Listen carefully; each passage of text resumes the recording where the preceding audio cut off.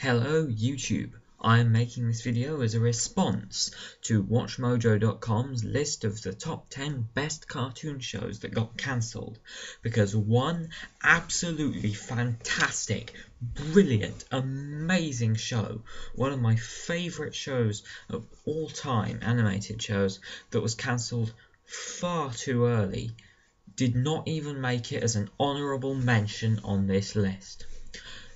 I think it's obvious what I'm talking about The Secret Show.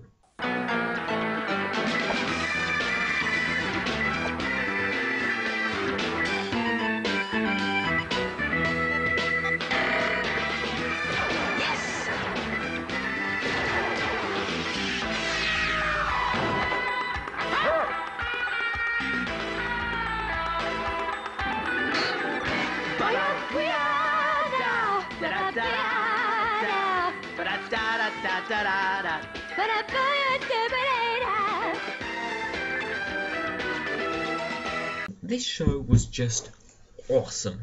We have following we are following two secret agents from a sort of semi-secret organization called Us, who are out to stop numerous villains out to take over the world. These epic characters include such unforgettables as Doctor Doctor. Oh, stop it! Tell me what I want to know, or I'll give it another mug ring. With her evil organization Them, and and the Floaty Heads, a group of aliens with floating heads, alongside some uh, some stranger villains like the Imposters and the Reptigators. Generally, each episode is surreal but and extremely entertaining. But they do have some element of tragedy in some episodes, like when we see Victor's dad in the Wobblemen from Dimension 10 episode, and he can't come back to our world because he's been made all wobbly. So they even add a fun spin on some of the tragic elements. Dad! Ditch the wobble suit! It's the only way you'll get through! I can't, son! Of course you can! No! I really can't! You see... I'm not wearing a wobble suit! What? What do you mean? I've been in Dimension 10 too long. I've gone all wobbly. No! Yes! If you're staying, then I'm staying with you! No! Uh, uh. She's right, son. You're too young to go wobbly. Bye, son. Bye, Dad! I'll see you again one day. But they don't go too far with it. They don't go too far with any of it. Uh, okay, at times they do might a little, but generally they don't. It also has one of the catchiest villain songs I've ever come across. hypnotize, hypnotize, hypnotize, hypnotize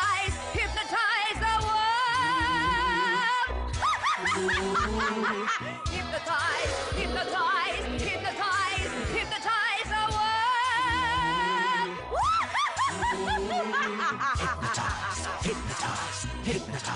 the.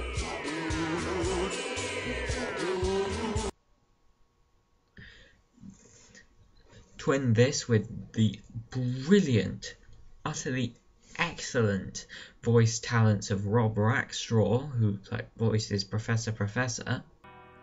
Fascinating. I'm clever now, but in the future, I'm a genius. If you fear the brain, it will expand to such a size it will crush all beneath it. Do you understand? Stay calm, or the earth is doomed! And also, also Keith Wickham, who voices the guy who's in charge of us, who for reasons of security his name is changed daily. My personal favourite one of these names is oh, I take security very seriously. That is why my name is changed daily. And today, you may call me. Oh, nibbly nobbly knock knees. And that's just brilliant. In fact, there's a little scene afterwards where he's talking to future Victor, who also who eventually develops his job, and his name is also changed daily. But uh, let's just look at this scene. And in this time zone, you may call me. Oh, wait for it. Jet Strong. Jet Strong? I don't believe it. I get nibbly knobbly knock knees, and he gets Jet Strong. Shh. Oh, but it's not fair. I want a name changer like that. It's just, it's just brilliant. I mean, they even have an episode where a clown takes over the world because nobody takes him seriously enough to stop it. This series is just awesome. It was unbelievably excellent. It was surreal, it was funny, it was enjoyable, it had fantastic characters which it developed to an extent, and we really got to know them, we really got to feel for them, whilst at the same time laughing at their failures at times. It had some of the best villains, and all in all, it was great. Right up until the last episode, when. Okay, there were a few other rubbish episodes. There was the Stealing Switzerland episode, which was awful, but every other episode aside from that pretty much was excellent.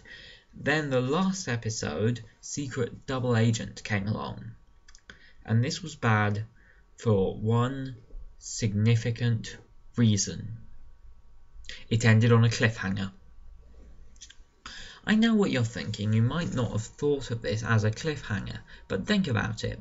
The secret thing, the mysterious object which Uz has dedicated virtually all of their resources into protecting, is now in the hands of double agent of Dr. Doctor's evil organization, Them.